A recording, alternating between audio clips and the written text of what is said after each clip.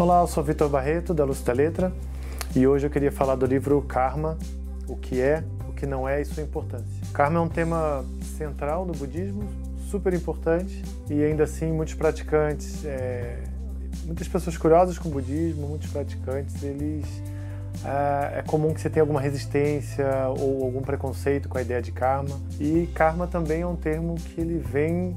Outras tradições também usam esse termo.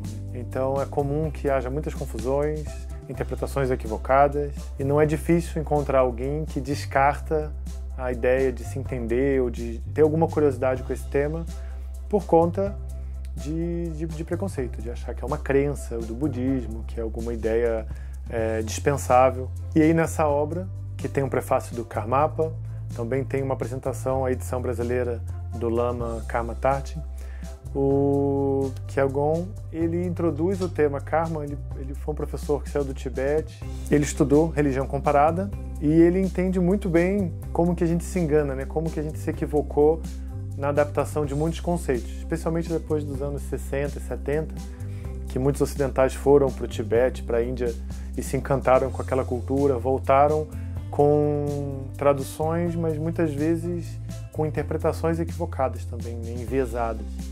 E aí essa obra traz um apanhado do que, que é o karma, do que, que foi o karma antes do Buda, né? como que os indianos, as tradições indianas entendiam o, o karma, depois o que, que o Buda introduziu, como que o Buda viu o karma e como que diferentes escolas desde então foram explicando e entendendo a maneira como o karma funciona. E aí, é, é, claro, no livro tem também os enganos mais comuns. Então esse é um livro super importante para se entender o que, que é o karma, o que, que ele não é, quais são os enganos, como que a gente às vezes está interpretando isso de uma maneira ou simplista ou a gente está descartando, achando que é complicado demais. Então o livro ele, ele faz um panorama bem completo, desde das origens do karma, a visão do Buda sobre o karma, que Agon também fala de como que é a questão do karma em relação aos bardos, como o karma é, é um tema central no budismo e ele não é puramente teórico, esse livro também é, não é só um apanhado histórico e comparativo.